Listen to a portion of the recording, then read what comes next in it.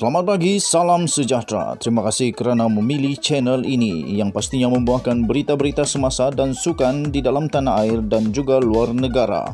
Sebentar lagi kita akan mulakan berita terkini daripada channel ini. Sila pertimbangkan untuk tekan butang subscribe, like dan share.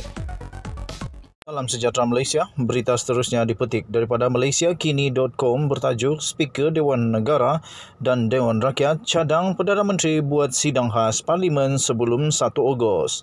Yang di-Pertua Dewan Rakyat Azhar Harun dan yang di-Pertua Dewan Negara Rais Yatim berkata pihaknya mencadangkan kepada Perdana Menteri Tan Sri Muhyiddin Yassin agar satu sidang khas Parlimen diadakan sebelum Ogos 2021.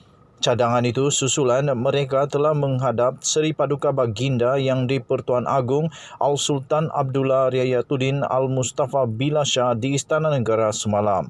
Dalam satu kenyataan bersama pada hari ini, Azhar dan Rais berkata dalam sesi menghadap semalam, Sultan Abdullah menitahkan yang sidang parlimen perlu diadakan sebelum 1 Ogos ini.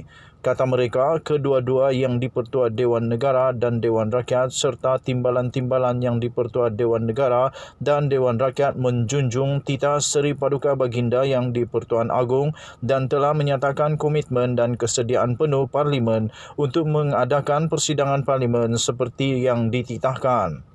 Kita Agong pada majlis menghadap tersebut juga telah dimaklumkan kepada Perdana Menteri dan dicadangkan kepadanya agar satu persidangan khas diadakan sebelum 1 Ogos 2021 mengikut peruntukan undang-undang sedia ada kata mereka. Sekian berita, salam sejahtera Malaysia. Bye-bye.